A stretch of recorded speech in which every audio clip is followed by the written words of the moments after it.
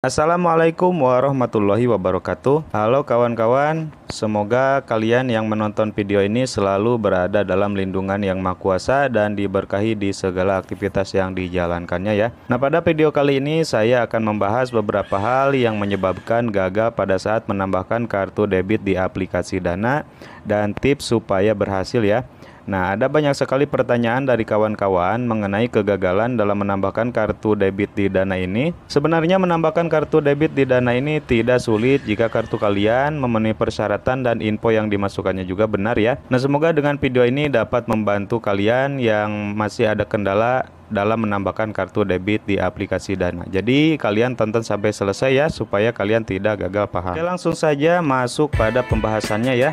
Yang pertama, pastikan jenis kartu yang akan ditambahkan itu berlogo Visa, Mastercard, GPN dan American Express ya. Seperti ini jenis kartunya. Nah, ini yang berlogo Visa, kemudian ini yang berlogo Mastercard dan ini yang berlogo GPN dan ini yang berlogo American Express ya.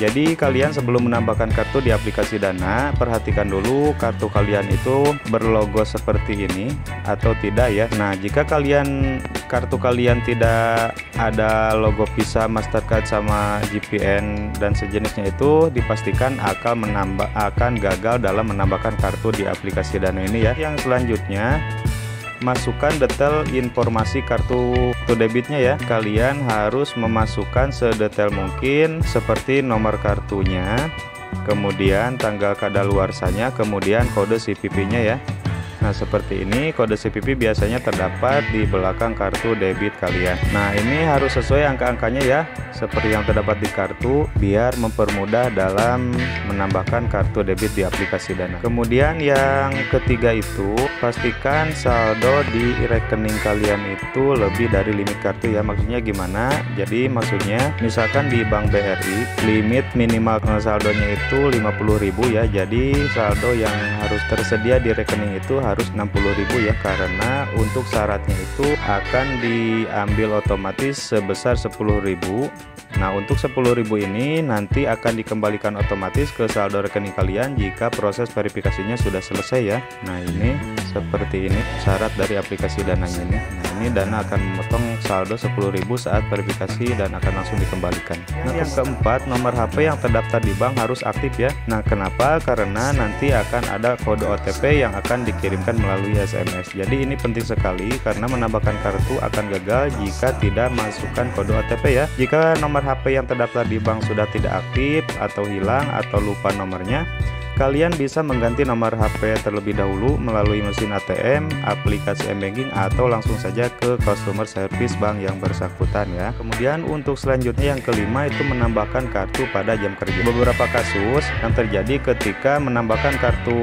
debit di aplikasi Dana di luar jam kerja itu kode OTP-nya tidak masuk pada SMS ya seperti yang saya alami itu di Bank BRI. Nah, jadi jika kalian masih gagal, coba saja menambahkan kartu di uh, pada jam kerja perbankan ya. Kemudian untuk yang keenam, jika muncul pesan error di aplikasi Dana, nah kendala seperti ini biasanya karena HP kalian terlalu banyak file sampah dan menyebabkan error pada beberapa aplikasi di HP kalian ya.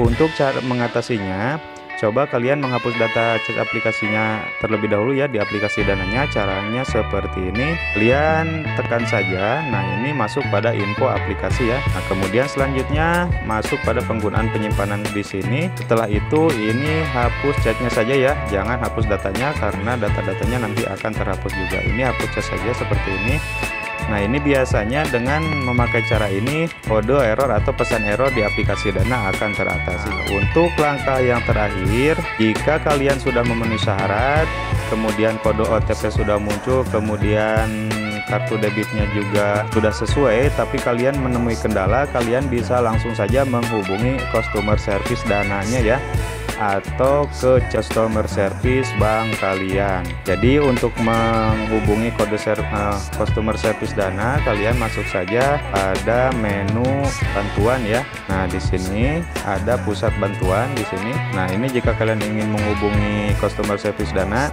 masuk saja ke pusat resolusi atau bisa via chat di sini ya. Nah, ini bisa masuk pada via chat, chat WhatsApp ya maksudnya. Seperti itu, kalian harus memperhatikan dulu langkah-langkah seperti yang saya katakan tadi.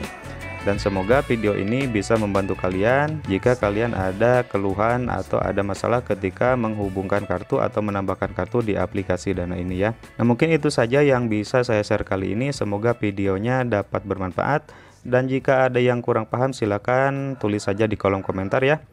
Insya Allah saya akan bantu dan respon sekemampuan saya. Akhirul kalam, wassalamualaikum warahmatullahi wabarakatuh.